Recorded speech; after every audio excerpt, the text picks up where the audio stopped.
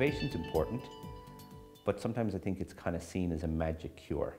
I think the first thing is the only thing that's going to get us out of here is a little bit of inspiration and an awful lot of hard work, right? Nothing's going to replace that. And for companies, for people, for businesses that understand their market and their customer incredibly well, they'll identify ways of providing more and more value to their customer. And I think that's a, maybe that's a good word in which innovation fits. But I think it's old-fashioned hard work, defining better ways to do something that you've always done for a customer, giving customers something that they haven't anticipated, some unexpected good value, so they're going to give you more business. And I think it's old-fashioned values. And the more you can do that, and the more you, you can be creative in that, then definitely that's innovation. But sometimes maybe, you know, I get worried about people kind of throwing the word innovation around. And I think it's seen as kind of a magic solution, which forgets the fact that old-fashioned solutions about great ideas and damn hard work.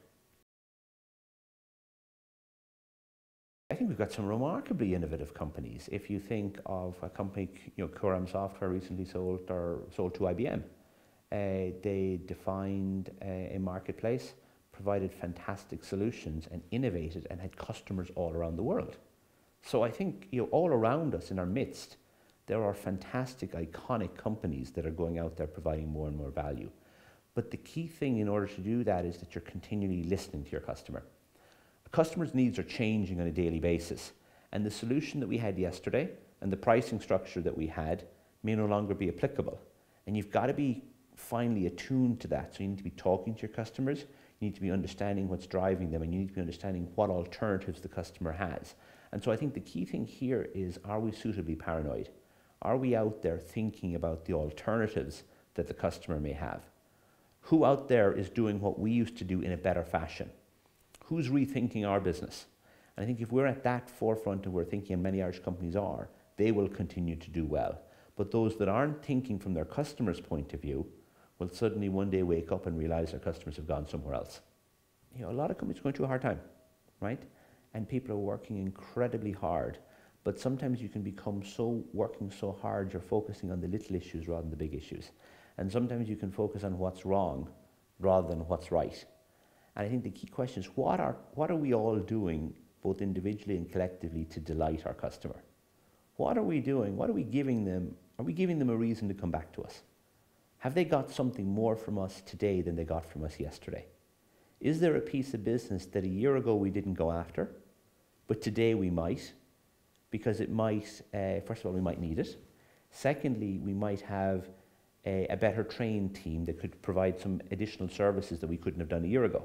And I think we just need to rethink and rethink and rethink. Are there more opportunities out there for, for any one of us as a business to offer something of more value to our customer? And of the stuff that we're currently offering, can we do it better, faster, and cheaper so that they can get the same output from us, but from less cost to them?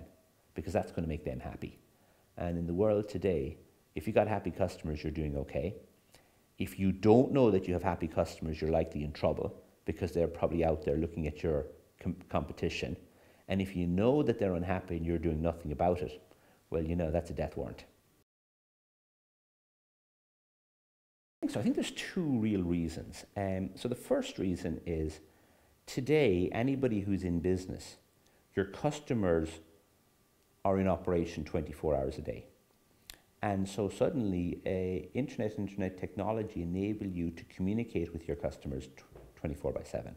Your customers have needs, they've got questions. You're in a position to engage with them, to assist them, and to, to provide huge elements of support. It's, a, it's an incredibly important support channel 24 by 7.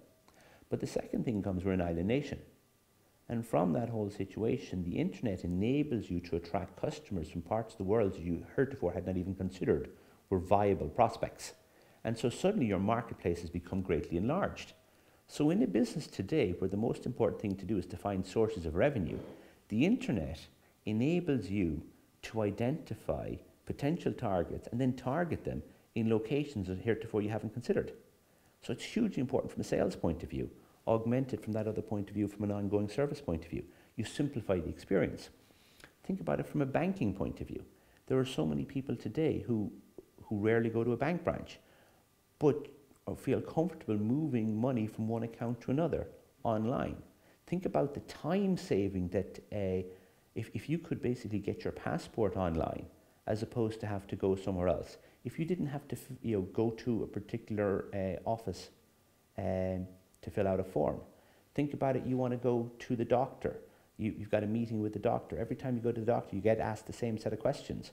Wouldn't it be really interesting if you actually had a little record which then you could link to the doctor's surgery and then maybe they could send you a, a text note to say, hey, doctor, ready to see you in 10 minutes. So rather than being there and waiting for an hour, they call you 10 minutes beforehand and you pop around the corner. So huge time savings, huge productivity gainers for both individuals and for businesses. So you start to put all those together. It, it's a key part of how businesses operate, both to manage their cost structure and to engage with their, their customers in a post-sale support, but to go out there and identify new potential customers and acquire them and grow their business.